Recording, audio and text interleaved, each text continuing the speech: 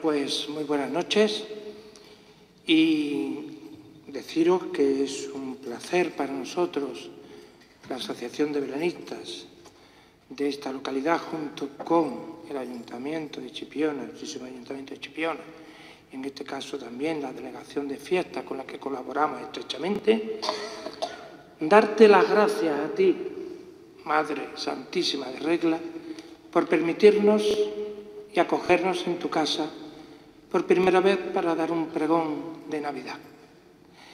Y gracias a tu guardián, Juanjo, por no haber puesto ninguna pega en ningún momento para que este acto se celebre aquí. Gracias a nuestra pregonera, porque en ningún momento dudó aceptar el ofrecimiento que le hicimos. Y yo no me extiendo más, gracias al coro por ese bonito, por esa bonita villancico que habéis comenzado. Y os dejo con la palabra del rector de regla, que va a ser el presentador de la pregonera. Gracias.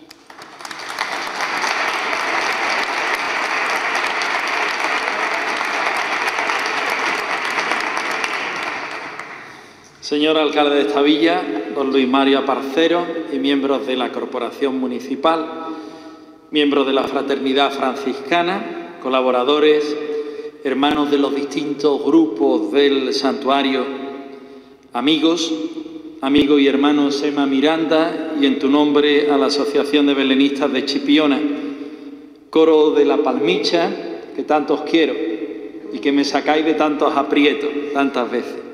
Personas que nos seguís por nuestro canal YouTube, Santuario Nuestra Señora de Regla Franciscana, querido Miguel Gallardo y por supuesto querida Marina Bernal, que viene guapísima. A todos los presentes mi deseo de paz y bien. Creo que estamos viviendo un momento único, pues nunca se había declamado el pregón de Navidad en el santuario y hoy lo hacemos además por parte de Marina Bernal. Es, según mi pobre parecer, una apuesta por unir la belleza, el arte, la comunicación, la espiritualidad, el sentimiento, la cultura y muchas cosas más. Y hacerlo en un lugar donde se da ese embrujo de forma espontánea y sencilla. Chipiona es regla en su máximo exponente y regla es lo más puro de Chipiona. La Virgen de Regla, vestida al uso de Inmaculada, como no puede ser de otra forma, en un convento franciscano en el periodo de Adviento y como una vecina más de esta bellísima localidad va a ser testigo de la humanidad y el sentimiento unido a la preparación profesional y sencillez de esta sevillana que tan a gusto se siente chipionera.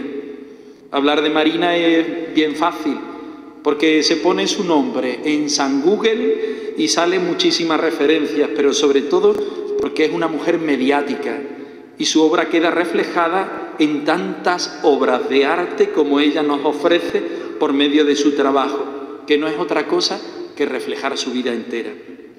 Deciros que no soy para nada objetivo a la hora de su presentación. Coincidimos a menudo en eventos en los que nos vemos envueltos, pero que ambos sabemos que nos encantan. Yo por mi parte me siento admirador y aprendiz de tanto como ella sabe poner en valor y transmite. Ella sabe captar mi atención, aunque sea aún en la hora de la siesta. Entre sus muchas cualidades es capaz de expresar mucho de manera directa y sencilla. Yo creo que voy a ser más largo en la presentación que ella en el pregón, pero ya veréis el contenido. No habla de ella, pero su trabajo se define, sus palabras y escritos, blancos, pero ella sabe, como nadie, ponerle colores, sabe sonreír aún en las peores noticias y deja mostrar la niña que hay en su interior, sobre todo en las carcajadas que de vez en cuando nos regala. No quiero olvidar en esta presentación una frase de Oscar Wilde que dice, la diferencia entre literatura y periodismo es que el periodismo es ilegible y la literatura no es leída. Pues bien, nos encontramos ante una mujer que rompe esta definición pues Marina lo mismo hace prensa escrita como televisión y radio. Escribe libros, así como reflexiona en los medios digitales y todo lo hace con una gran profesionalidad, humanidad y hasta con la impresión por parte de los que estamos a la otra orilla que lo que hace es fácil. Ah, y por si todavía no es poco, la muchacha sabe también hacer una fotografía, las más buenas del mundo, y presentar hasta lo impresentable con la calidad y calidez que solo una sevillana chipionera sabe hacer. Aunque sé bien que Marina no se sitúa precisamente entre los fogones de la cocina, hoy se me antoja contemplarla en esta cocina de la comunicación donde hay que administrar y medir muy bien los condimentos y saberlos mezclar con arte y salero para que el resultado sea óptimo. Marina lo hace como nadie, cuidando la presentación, que se me antoja azul como su propio nombre y el mar de Cádiz que tanto ama, pero sobre todo poniendo grandes dosis de amor al ser humano y a la obra de la creación que es rojo como los adornos del santuario hoy y sus propios zapatos, color de la Navidad y del amor con mayúscula. Sabe elaborar la mejor presentación, la crónica más emotiva, la explicación más exhaustiva, así como recoger el testimonio más personal poniendo en valor, como si fuera ella misma, la experiencia del prójimo. ¿Qué te gusta meterte en estos guisos, Marina. Y qué bien sale de todos ellos, como hoy estoy seguro que vas a salir de este. Marina Bernal, pregonera de la Navidad de Chipiona 2021. Todo un cartel grande para un año que reanuda a medias las actividades en muchos ámbitos, pero que deja entreabierto aún el horror que seguimos sufriendo. Seguro que sabes encender el fuego de la ilusión como si fuéramos niños el deseo de vivir el espíritu navideño como hermanos de una misma familia, el arte de esta tierra en todo lo que se propone vivir como parte integrante de ella y una de sus mejores representaciones. Un nuevo hito para ti pregonar la Navidad, la Navidad chipionera y franciscana, a la luz de quién eres y cómo lo vives, sin haber leído ni tan siquiera una línea ni una palabra de tu pregón, lo auguro de, máxima calidad, lo presumo lleno de amor por esta chipiona que tanto amas, por su Virgen de regla, el santuario, la playa, sobre todo por la parte que baña tus reflexiones, trabajos, libros y hasta la casa de tu, hasta la puerta de tu casa chipionera. Seguro sabes meternos en este diálogo que tienes tan especial con la Virgen y reivindicar la Navidad de verdad. Navidad que sabe a experiencia familiar de amigos que comparte, amparada siempre entre las dos familias religiosas que hacemos en Chipiona de vecinos tuyos, las hijas de la caridad y los franciscanos, que os queremos y bien sabemos que os inundamos en nuestros carismas de servicio, de sencillez, de fraternidad de amor a los niños, especialmente a los más necesitados. Y que tú nos acompañas junto con Miguel y nos haces ver la vida como si de tu objetivo de la máquina de fotografía se tratara. No vas a olvidar a Rocío, nuestra Rocío, que también conoces y acompañas desde hace tantos años. Se me antoja pensar en esta tarde cómo estará diciendo a la Madre de Regla del Cielo, Madre, venga, arréglate, que no nos podemos perder lo que esta niña también plantea, va a decir en tu santuario esta tarde acerca de la Navidad.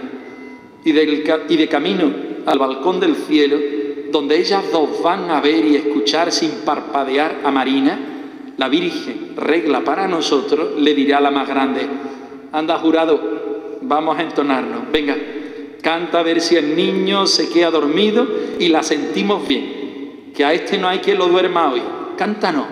Eso de nai, nai, na, nai, nai, na. Duérmete, niño mío, mi niño chiquitito, corazón de tu madre. No te sientas solito, porque al ladito tuya tu madre está dándote paz y felicidad.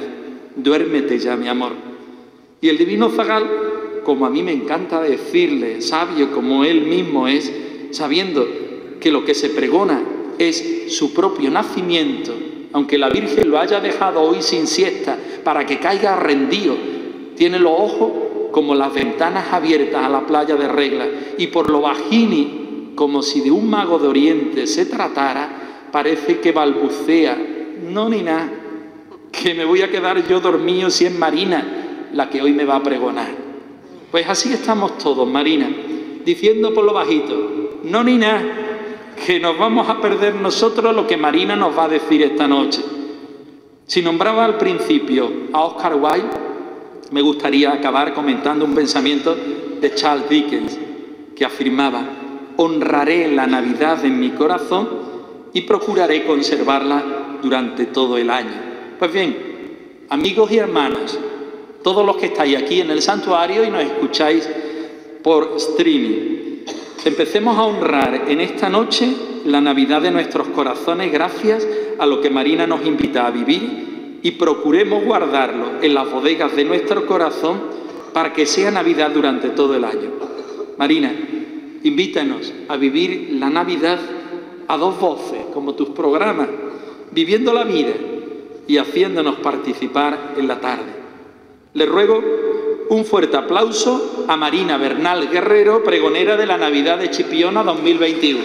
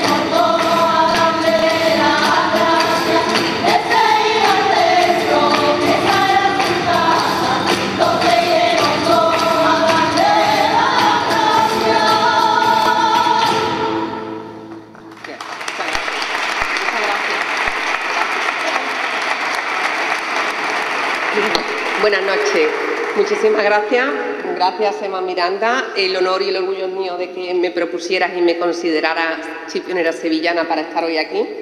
El honor es mío, Juanjo, por ser amiga tuya, por admirar esa labor franciscana que hacéis todo el año. Eh, por cierto, que hoy también es el Día de la Milagrosa. Felicitamos a las hijas de la caridad que nos acompañan. Feliz día. Eh, y casualidades de la vida muchas veces convergen una serie de casualidades, coincidencias, señales. Hoy, que es el Día de la Milagrosa, las hijas de la caridad son mis vecinas, mis grandes amigas, a las que admiro profundamente la labor que hacen. Estamos aquí en el Santuario de Regla por primera vez, delante de la Virgen de Regla santuario franciscano fue San Francisco de Asís el que comenzó con la tradición de los belenes. Y me vais a permitir, para mí es un honor y un orgullo estar hoy aquí en Regla, es el epicentro donde nace Chipiona, pero me vais a permitir que hoy quiero dedicar especialmente este pregón a un gran amigo que es de Regla, que simboliza la esencia de lo que es este pueblo, esta tierra y de lo que es Regla, y que es una persona con el corazón, con las puertas abiertas. Él es Navidad. Mi amigo Bernardo Caro Caraballo, un enorme abrazo desde aquí y seguro que la Virgen de Regla le manda toda la energía que necesita.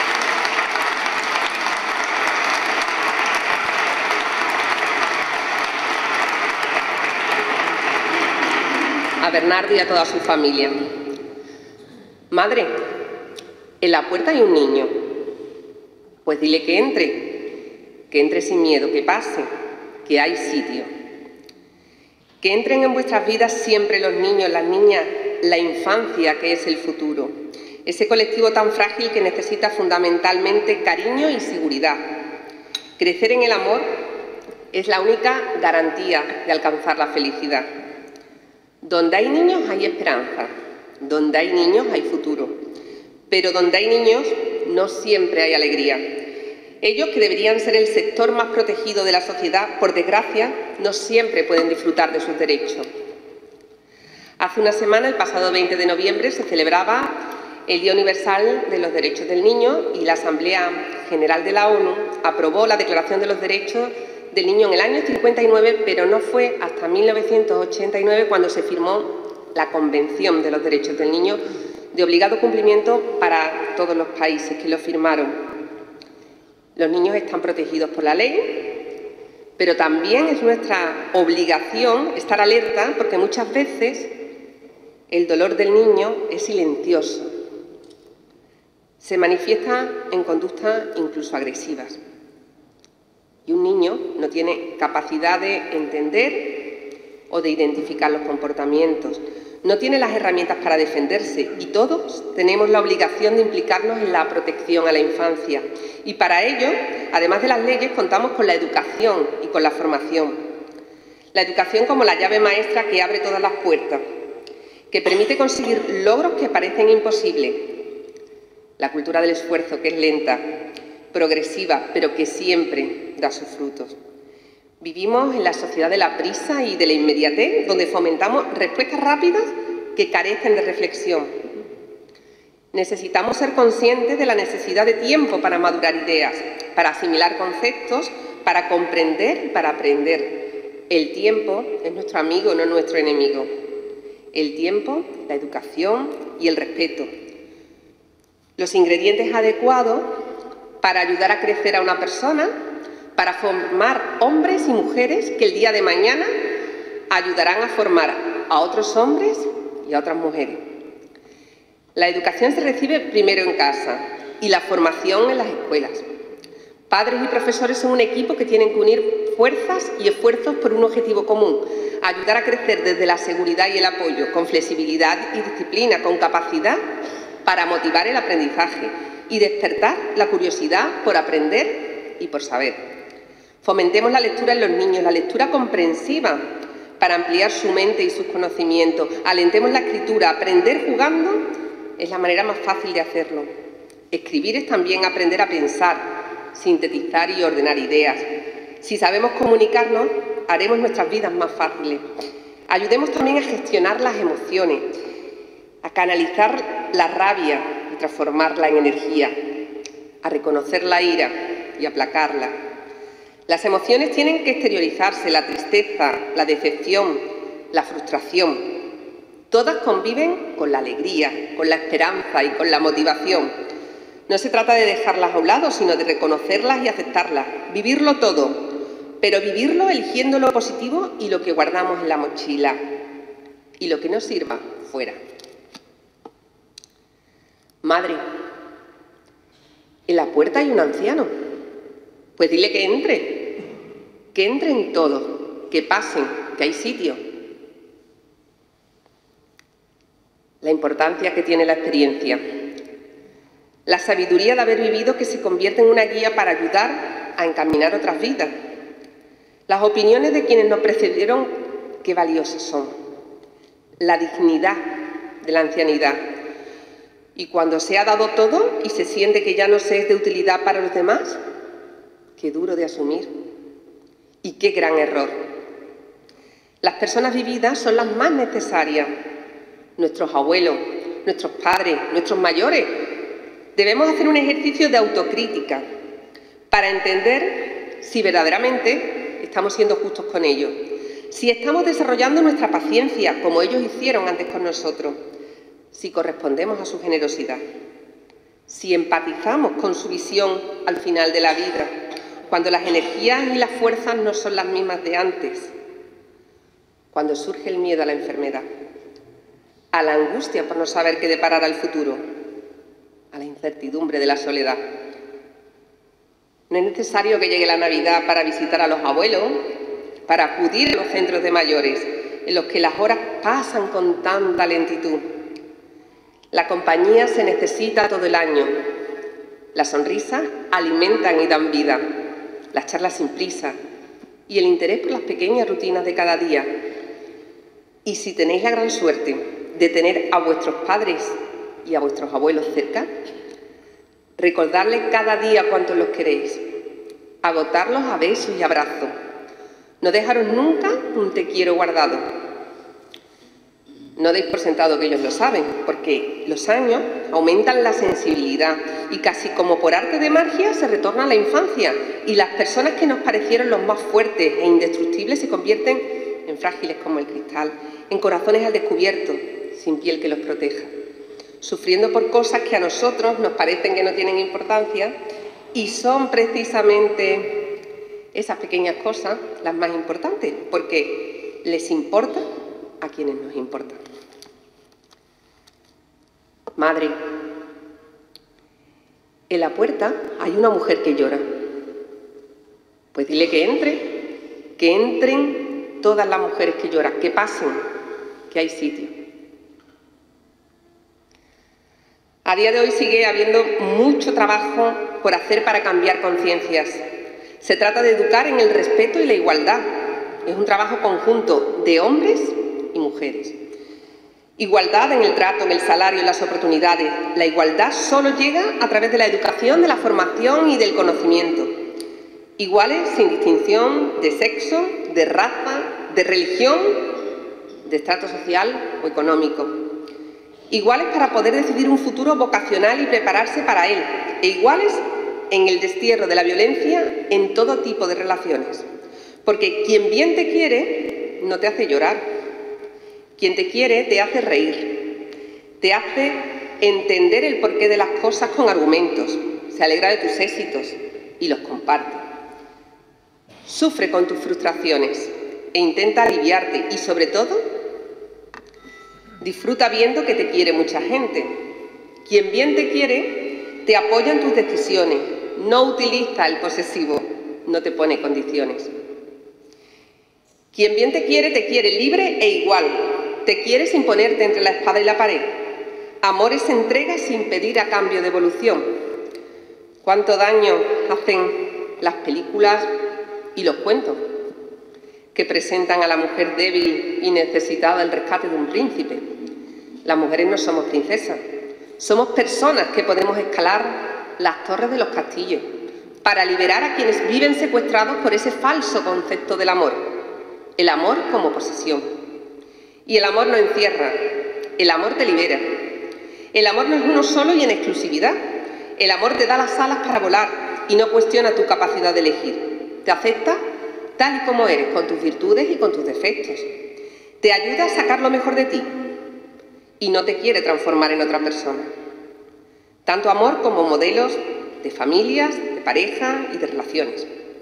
El 25 de noviembre, hace solo unos días, se celebró el Día contra la Violencia de Género que, por desgracia, sigue haciendo falta un día para visibilizar un mal tan arraigado aún en la sociedad y que solo se puede combatir a través de la educación, de la formación y del conocimiento, sin ocultar ni callar lo que es un delito ante la ley y atenta a la dignidad de las personas. Madre, en la puerta hay una persona enferma. Pues dile que entre, que entre, que entren todas las personas que están enfermas.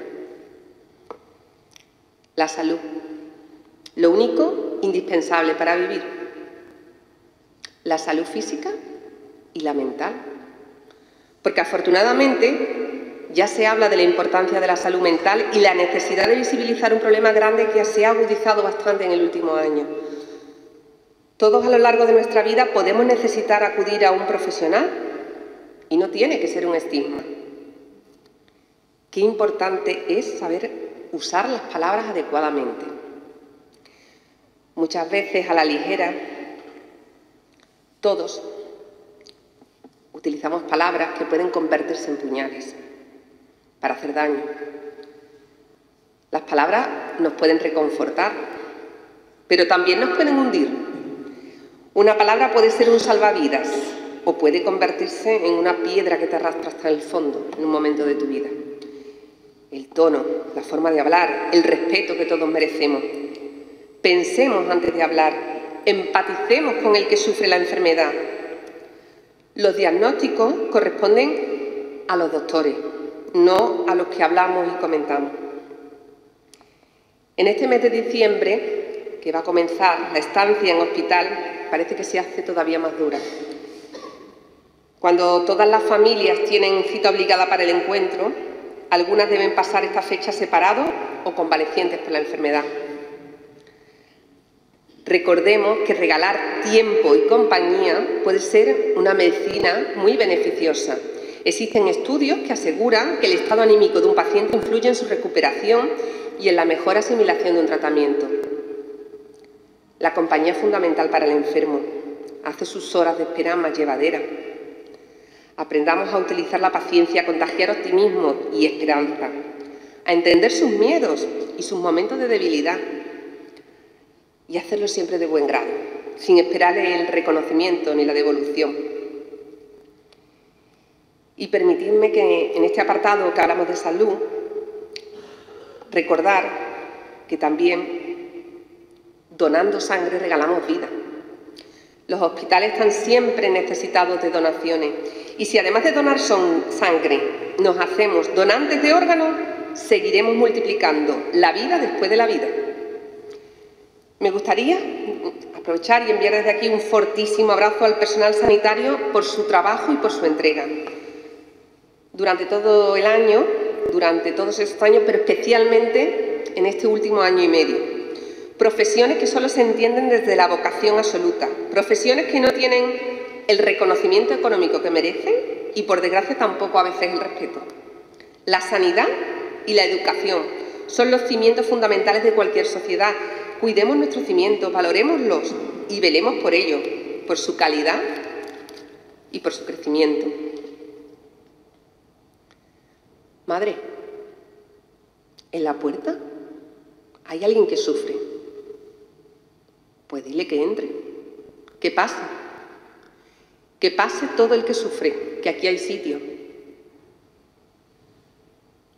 Que entre siempre, no solo hoy, que se anuncia la Navidad, que entre cada vez que necesite consuelo, ayuda o necesidad de ser escuchado. Porque la disposición a ayudar debe estar presente cada día como una filosofía de vida Dejemos abiertas todas las puertas, las ventanas, deshagámonos de cerrojo, derribemos muros y construyamos puentes. Los puentes del, del entendimiento, del encuentro. Borremos las ofensas del pasado. Aprendamos a perdonar y a perdonarnos. Fijémonos en la mente limpia de los niños, de tantos niños que hay hoy aquí, que discuten, que se pelean y al día siguiente se reencuentran para jugar. ¿Cuánto tiempo se pierde en la vida recordando un mal gesto, una mala palabra, un comentario desafortunado? ¿Cuánta energía se, invierte en el rencor? ¿Cuánto desgaste produce la necesidad de venganza? Seamos capaces de olvidar lo que no tiene solución, de construir otra vez empezando de cero y de transformar las relaciones. Hermanos que dejan de hablarse por una herencia, matrimonios que cuando se rompen olvidan que una vez hubo amor, amigos que en algún momento de la vida nos fallan o a los que nosotros hemos fallado. Todos cometemos errores y todos sufrimos por las equivocaciones ajenas. Pongamos el contador a cero, borrando lo que no nos gustó del pasado, asumiendo los errores y aprendiendo de ellos. Por eso, dejemos siempre la puerta de nuestro corazón abierta, de par en par, sin condiciones. Hagamos sitio hoy, que anunciamos la Navidad, y durante todo el año. Que no tengamos que esperar casi 12 meses para ser mejores, para empatizar y para ser capaces de ponernos en el lugar del otro. Regalemos tiempo, atención e interés. Cultivemos la paciencia y busquemos siempre el entendimiento en las diferencias. Por todos esos que llaman y llamarán a nuestra puerta y por nosotros mismos porque la felicidad solo se entiende cuando se comparte. Y el amor es lo único que se multiplica cuando se reparte. Feliz Navidad a todos.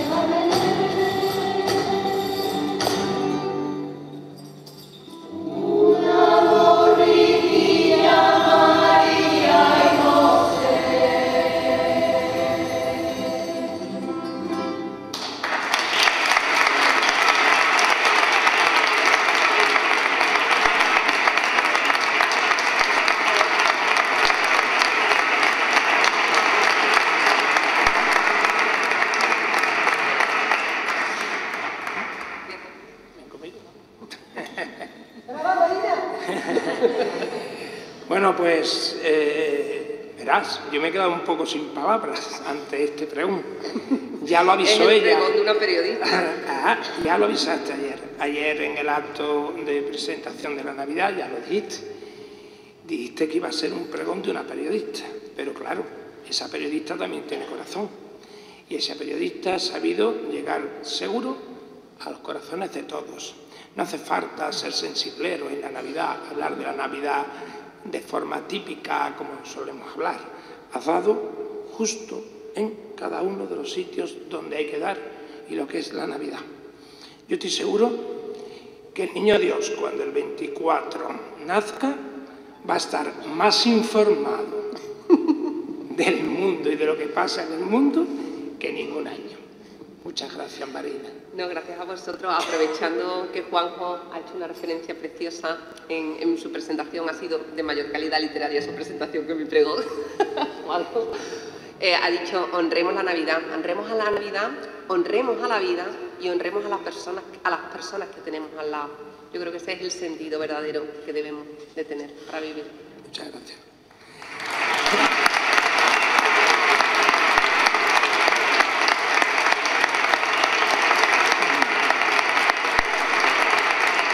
Bueno, y para terminar el acto, yo le pido, por favor, a la Corporación Municipal que cierre el acto, Luis Mario, y los otros componentes de la delegada de fiesta, Val, que te quieren hacer entrega de un pequeño detalle y así pues damos concluido o damos por concluido este pregón de la Navidad 2021. Muy bien, muy buenas noches a todos y a todas. La verdad es que todos esperábamos un pregón de pestiños, ¿verdad? Y de pandereta, y de la borriquita, y el mulo, y San José, y los villancicos que ellos han cantado, ¿no? Pero ahora hablaré yo del pregón, porque a mí me ha emocionado, porque me esperaba era más periodístico de otra forma, ¿no? Me lo dijo ayer que iba a ser más periodístico de otra forma. Y hoy, pues, daros a todos la bienvenida, sobre todo a un grupo que viene de Sevilla, de la Hermandad de la Soledad, ¿verdad? El autobús ha estado hoy aquí en Chipiona disfrutando del santuario, de nuestras playas, de nuestra gastronomía y de nuestras cosas, ¿no? Y en principio quería agradecerle al Padre Juanjo eh, la posibilidad de estar hoy aquí en el Santuario de Regla en este primer pregón de la Navidad un sitio para nosotros es el monumento y la, y la historia más importante y hacerlo aquí, ¿no? Pero lo que más me ha emocionado ha sido su presentación. Muy, muy, la verdad es que ha sido, vamos, muy emotiva, muy literaria, como bien ha dicho Marina, y muy llena de mucho contenido y a mí me, también me, me ha agradado. Ha sido una presentación eh, importante, ¿no? A Marina decirle que eso de sevillana, de chipiona, de chipiona de sevillana, se lo podíamos decir a Sema, que es chipionero del puerto, del puerto de Chipiona, son de Chipiona. Todo el que ama a Chipiona no tiene que ser ni hijo adoptivo, ni adoptado, ni emprestado, es de Chipiona. Los sentimientos que ponen estas personas, su trabajo, su dedicación, tanto Sema desde la Asociación Belenista, tantos años dedicado a la educación como monitor, como educador, y Marina, con todas sus aportaciones, y Miguel, eh, y todos los que eh, aman a Chipiona, para mí son chipioneros. Donde nacieron, donde dejaron de nacer, donde tengan su otro corazoncito, eso a mí me da igual. Para mí, Marina, eres adoptiva, adoptada, emprestada y eres de Chipiona. Así que ahí, ahí lo dejo, ¿no? Y decir que el pregón me ha encantado por muchos motivos porque no es el pregón de la Navidad, es el pregón de todas las Navidades del año, de todas las Navidades de la vida, de todas las Navidades pasadas, futuras y las presentes. Es un pregón de los niños de la infancia, de las mujeres, de los enfermos, de los que sufren, de los que hacen, de los que trabajan. Y emulando ese pregón, yo le quería decir a Marina que le voy a copiar una frase. Madre, en la calle hay gente de bien, de muchas profesiones y dedicaciones, que quieren trabajar para ayudar a cambiar esta sociedad y este mundo. Pues dile que entren, dile que entren también, que son importantes. Todos los que estamos y están y estarán ahí luchando para luchar por esta sociedad mejor que la que todos queremos. ¿no? Y desde aquí también quería agradecer a la Asociación Belenista por hacernos partícipe de este gran espectáculo, de esta gran eh, trayectoria, de estos grandes belenes, de, que la Navidad esté viva aquí. También al coro de la Palmicha, porque aunque sea fácil, no es difícil tener a tantas mujeres y a Antonio que está ahí año tras año ensayando para estar en la Navidad con el frío, con el calor y con todo lo demás que ellos sufren para mantenernos este coro. Si no lo tuviésemos lo echaríamos de menos, pues aquí está y hay que animarlas a que sigan adelante. Es muy importante.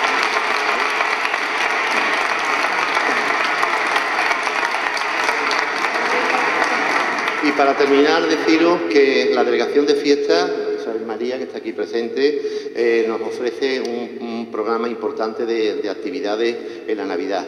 También la Delegación de Juventud, la Delegación de Comercio, la Delegación de Deporte, todo el Ayuntamiento. Con gran ilusión hemos puesto encima de la mesa un plantel de actividades desde aquí hasta, hasta, hasta la primera semana de enero con nuestra dedicación, con nuestra economía, con nuestro trabajo, con nuestro esfuerzo, con el de los trabajadores. Y entendedme lo que os quiero decir, lo hacemos pero con un sentido de responsabilidad que muchas veces nos pone la duda. ¿Por qué? Por esto, por el COVID. Simplemente os voy a pedir a todos y desde aquí a los medios de comunicación el máximo de, responsabilidad en las familias, en los cotillones, en lo demás, donde sea, en la calle, porque el COVID está aquí, desgraciadamente está aquí ¿eh? y no se va a ir tan rápidamente. Así que intentemos tener una Navidad de verdad, fuerte, en condiciones y quisiera pedirle a la Virgen de Regla por todos ustedes pide el Padre Juanjo todos los días, por todos nosotros, pero hoy por Bernardo Calo que haga ese milagro, que nos lo traiga de vuelta. ¿Vale? Muchísimas gracias.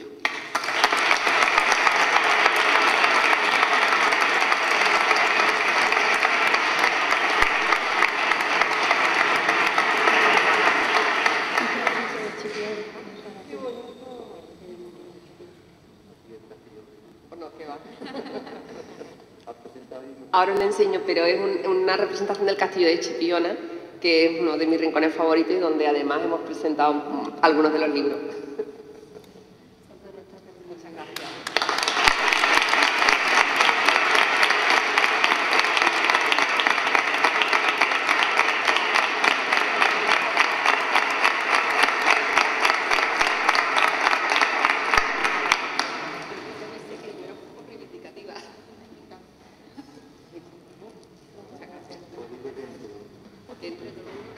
Muchísimas gracias.